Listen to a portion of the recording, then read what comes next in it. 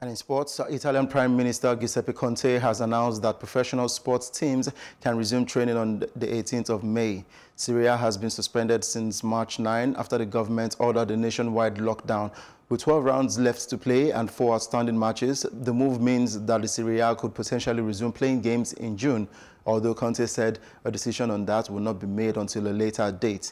Conte also stated that the government will work with experts to monitor the situation and then later evaluate whether there are the conditions to end the suspended championships.